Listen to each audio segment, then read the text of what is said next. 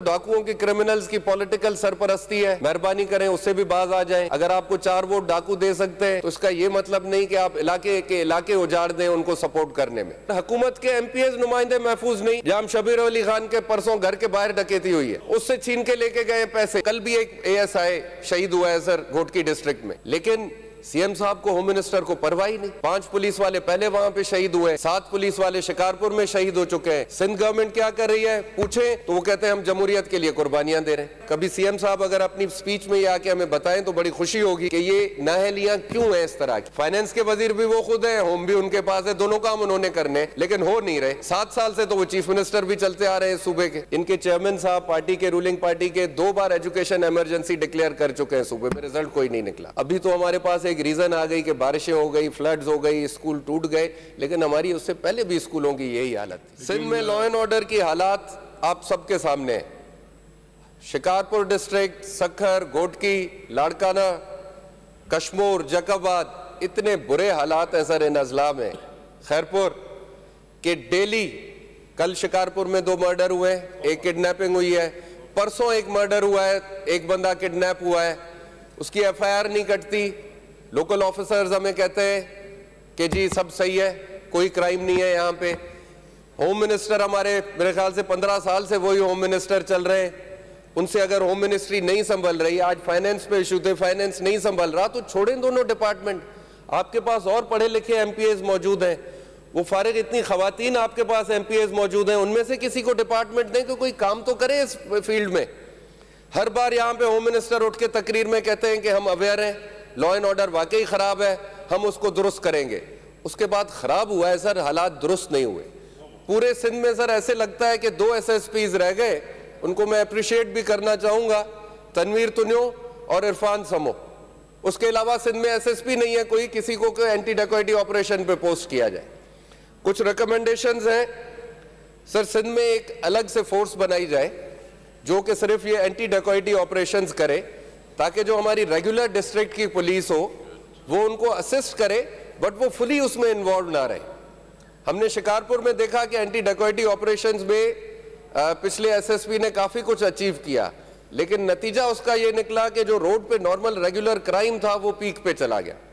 और वो आज भी पीक पे है और वो कंट्रोल नहीं हो पा रहा। सिंध गवर्नमेंट अपनी नाहली छुपाने के लिए ये एक्सेप्ट नहीं करती। आर्मी से, रेंजर से सर्विसेज़ नहीं मांगती कि आप आके हमें असिस्ट करें, इस ऑपरेशन में हम नहीं कर पा रहे। आपके एसएसपी घोटकी कई बार मीडिया पे आके कह चुके हैं कि हमारे पास ना रिसोर्सेज है, ना हमारे पास उस लेवल की ट्रेनिंग है। लेकिन उन्हीं को कल भी एक एएसआई शहीद हुआ है सर, घोटकी डिस्ट्रिक्ट में। अबड़ो था शिकारपुर का मेरे ख्याल से। लेकिन सीएम साहब को होम मिनिस्टर को परवाह ही नहीं। पाँच पुलिस वाले पहले वहाँ पे शहीद हुए, सात पुलिस वाले शिकारपुर में शहीद हो चुके हैं। हम रोज अपने पुलिस वाले इस तरह शहीद करवाते रहेंगे। डाकू तो उसी तरह फिर रहे। वो वेल इक्विप भी हो रहे हैं उनकी ट्रेनिंग भी बेहतर होती जा रही है। सिंध गवर्नमेंट क्या कर रही है? पूछे तो वो कहते हैं हम जमहूरियत के लिए कुर्बानियाँ दे रहे हैं। तो ये काम कौन संभालेगा? सर आके इस सूबे में। सर दूसरी मेरी रिकमेंडेशन है बल्कि रिक्वेस्ट है डिस्ट्रिक्ट शिकारपुर की पुलिस की स्ट्रेंथ ऑथराइज जो है वो 4,600 है। इस वक्त वहाँ पे 2000 के आसपास लोग काम कर रहे हैं। सर, क्या ये क्रिमिनल नेग्लिजेंस नहीं कि 1600 सैंक्शनड पोस्ट शिकारपुर में वेकेंट पड़ी हुई है पिछले सात साल से? कौन रोक रहा है आपको उन पे भर्ती करने से लोगों को? अगर शिकारपुर का ये हाल है तो आई एम श्योर हर डिस्ट्रिक्ट में यही हालत होगी। आप लोगों को रिक्रूट करें, उनको जदीद ट्रेनिंग दिलवाएँ, आपकी अपनी फौज इतनी अच्छी फौज, उससे आप सर्विसेज़ लें, वो आपको ट्रेनिंग करके देंगे रिक्रूटमेंट करके देंगे, हम क्यों नहीं कर रहे? पैसे भी मौजूद हैं सैंक्शन पोस्ट है, लेकिन क्या वजह है? कभी सीएम साहब अगर अपनी स्पीच में ये आके हमें बताएँ तो बड़ी खुशी होगी कि ये नाहलियाँ क्यों हैं इस तरह की? फाइनेंस के वज़ीर भी वो खुद हैं होम भी उनके पास है, दोनों काम उन्होंने करने, लेकिन हो नहीं रहे। सात साल से तो वो चीफ मिनिस्टर भी चलते आ रहे हैं सूबे के। सर लेटेस्ट इक्विपमेंट के लिए बजट रिज़र्व किया जाए, ताकि हम कम अज कम एट पार तो आए उन क्रिमिनल्स के साथ जिनके लिए कहा जा रहा है कि उनके पास लेटेस्ट इक्विपमेंट है जो पुलिस के पास नहीं है। लेकिन ये लेटेस्ट इक्विपमेंट के साथ साथ से ट्रेनिंग बहुत ज़रूरी है। हमेशा कहा जाता है, कहावत है पुरानी कि it's not the gun but the man behind the gun तो वो मैन बिहाइंड द गन अगर ट्रेंड उतना होगा तो वो उनको ऑपरेट कर पाएगा, वरना हम इसी तरह अपने पुलिस वाले बेचारे शहीद कराते रहेंगे और हमें रिज़ल्ट कोई अचीव नहीं होगा। उसके बाद सर, जो डाकुओं की क्रिमिनल्स की पॉलिटिकल सरपरस्ती है, मेहरबानी करें, उससे भी बाज आ जाएँ। अगर आपको चार वोट डाकू दे सकते हैं तो इसका ये मतलब नहीं कि आप इलाके के इलाके उजाड़ दें उनको सपोर्ट करने में। हमारे पास सर एक इलाका है चक टाउन कमेटी उसमें एग्जैक्टली बिल्कुल यही हो रहा है। इस बार लोकल गवर्नमेंट इलेक्शन में डाकुओं ने डील की हकूमती नुमाइंदों के साथ कि हम वोट देंगे, हमें कुछ ना कहें। अब वो डाकू उस टाउन कमेटी के इलाके में धन धनाते, हथियार लेते फिर रहे। पुलिस भी उनको बेबस है, उनके सामने कुछ नहीं कर पा रही। तो सर बजट से ज़्यादा हमारे एडमिनिस्ट्रेटिव इश्यूज़ हैं। गवर्नमेंट का कंट्रोल नहीं है। रिट ऑफ़ गवर्नमेंट नहीं है। रिट है तो अपने पॉलिटिकल अपोनेंट्स में है बट जो क्रिमिनल है वो उसी तरह आज़ाद फिर रहा है हमारे सूबे में, उससे कोई पूछने वाला नहीं है। कराची की लॉ एंड ऑर्डर आपके सामने है, जो हालात कराची में है।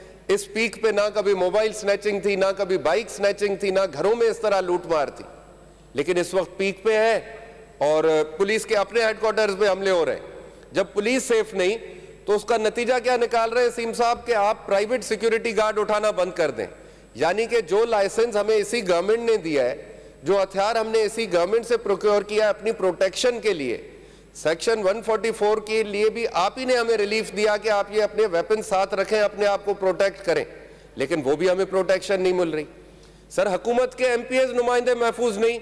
जाम शबीर अली खान के परसों घर के बाहर डकेती हुई है। उससे छीन के लेके गए पैसे, डाकू वहाँ से, उनके स्टाफ से। तो जब हुकूमत का एमपीए सेफ़ नहीं अपोजिशन की क्या हालत होगी? इस सूबाई सिंध में आम आदमी की क्या हालत होगी, सर? सोने पे सुहागा आपने जो लाइसेंस हथियार है, वो भी उसको रोक दिया कि ये भी नहीं उठाओ तुम? पुलिस भी प्रोटेक्ट नहीं करेगी। हम खुद भी अपने आप को प्रोटेक्ट ना करें। तो क्या चाहते हैं सीएम साहब? मेहरबानी करके अपनी स्पीच में आके बताएँ हमें। प्रोविंशियल असेंबली के लिए भी कुछ रिकमेंडेशन है। सर एक ट्रेनिंग इंस्टीट्यूट अगर ट्रेनिंग इंस्टीट्यूट पूरा नहीं बना सकते, sir modern assemblies first world countries की असेंबलीज में भी पार्लियामेंटेरियंस की ट्रेनिंग के लिए हमने अटेंड किए हुए हैं। हमने जर्मनी में अटेंड किया है इंग्लैंड में अटेंड किया है through this parliament training institutions बने हुए हैं, सर, जो पार्लियामेंटेरियंस की ट्रेनिंग करते हैं। सर इट्स वेरी अनफॉर्चुनेट कि मेरे ख्याल काफ़ी एन हैं जो इंस्टीट्यूट्स चला रहे हैं और वो इनवाइट करते हैं मेंबर्स को लेकिन इतफाक ऐसा होता है कि मेंबर्स जाते नहीं हैं। हालाँकि उनकी ट्रेनिंग इस्लामाबाद में भी होती है लाहौर में भी होती है डिफरेंट एरियाज़ में इवन इन कराची ऑल्सो तो मैं नाम रेकमेंड करके भेजता हूँ सारे एमपीएस का सबसे आप लोगों से लेके। लेकिन बहुत कम लोग जाते हैं जाते नहीं हैं लोग। सर आ, उसमें मैंने आपने मुझे भेजा है दो तीन वो हमने अटेंड किए हैं। उसमें एक प्रपोजल है सर कि अब नेशनल सिक्योरिटी वर्कशॉप चलता है वो चार मेंबर्स उठाते हैं पर ईयर हार्डली पिप्स की कोई ट्रेनिंग नहीं होती उनके पास कोई प्रोविज़न ही नहीं है वो उनको अगर असेंबली इनवाइट करे। असेंबली का अपना इंस्टीट्यूट हो। सर अपना इंस्टीट्यूट हो ये मैंने सर जर्मनी में देखा मॉडर्न वहाँ पे सर पॉलिटिकल पार्टीज़ के भी अपने इंस्टीट्यूट हैं और असेंबलीज के भी इंस्टीट्यूट हैं। उनको प्रोविंशियल और स्टेट से बजट मिलता है स्पेशली इंस्टीट्यूट चलाने के लिए। और वो ट्रेनिंग कराते हैं। वैसे आई एग्री विथ यू क्योंकि यहाँ पे ज़रूरत है कुछ लोग ज़रूरत है सर। जो पाँच साल से यहाँ बैठे हुए उनको पता ही नहीं है असेंबली क्या है। उनको रूल्स के बारे में पता नहीं है उनको तरीके का पता नहीं है। वेरी ट्रू तो वो मेरा ख्याल है उनको सबको पहले उनको एडमिट करना पड़ेगा। ज़रूरी है सर और कंपलसरी करें इसको कि मेंबर ओथ उठाएगा उसके बाद चार हफ़्ते की ये ट्रेनिंग करेगा हम सबको करवाएँ। सर एक क्लर्क भी जब भर्ती होता है जो लोएस्ट ईयर है वो ट्रेनिंग करके आता है। अनफॉर्चुनेटली हम मुल्क का highest year legislators making laws for the province and the country हमारी कोई ट्रेनिंग ही नहीं है। हम कोई घर से सीख के आएँगे सर चलें कुछ हम पुराने इनहेरिटेड पार्लियामेंटेरियंस हैं या कुछ को शौक है, बाकी ये तो कंपलसरी करने वाली चीज़ है सर इसको कंपलसरी बनाया जाए अटैच किया जाए हमारे ओथ के साथ कि हमारी ट्रेनिंग हो। उसके बाद sir introduction of latest latest technology in the assembly sir मेरा एक प्रपोजल है कि डिवाइसेस मौजूद हैं आईपैड्स मौजूद हैं। एक डिवाइस है सर किंडल जो बुक रीडिंग के लिए मशहूर है, और किंडल में इसलिए कह रहा हूँ कि आईपैड पे फिर लोग बैठ जाते हैं, कुछ इधर उधर, कुछ और चीज़ें ना देखना शुरू कर दें। Kindle is limited to books उसमें सर 4000 बुक्स की कैपेसिटी होती है। डिवाइस की प्राइस इस वक्त मेरे ख्याल से बीस बाईस हज़ार रुपए है। उसमें सर हमारे सारे पार्लियामेंट्री असेंबली के बुक्स रूल्स रिलेटेड सब उसमें अपलोड हो जाए। उसकी मेरे ख्याल से पाँच से दस रुपए पर मंथ फ़ीस होगी या पर ईयर फ़ीस होगी। वो भी असेंबली अपने बजट से बजट रखा जाए उसमें वो भरती रहे ताकि वो अपडेट भी होता रहे। आप प्रपोजल बना के दें वी लुक इनटू मैं I will I will sir मैंने बनाया। सर उस उसकी सर एक और वो बात है कि हम जब डालेंगे सिर्फ़ एक वर्ड उसमें कि लेट से आज यहाँ पे कोई डिस्कशन हो रही है आज हेल्थ डिपार्टमेंट तो सिर्फ़ हमारे सूबे का नहीं, तीनों सूबों के हेल्थ रिलेटेड चीज़ें आस पड़ोस के मुल्कों की हेल्थ रिलेटेड चीज़ें हमारे सामने आ जाएँगी कि असेंबली में क्या लॉ है, क्या रूल है। So with will add to our knowledge and lot will change in this assembly sir sir in the end में एजुकेशन डिपार्टमेंट के लिए सर अब एजुकेशन डिपार्टमेंट कल मिनिस्टर साहब का क्वेश्चन आर था।